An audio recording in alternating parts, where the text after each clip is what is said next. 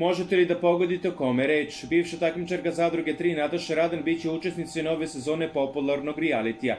Dugo se spekulisalo jer je njen život bio veoma zanimljiv javnosti. Pričalo se da je bila sa Šakom Polumentom, ali i da je imala aferu sa tada oženjenim pevačem Amarom Giletom.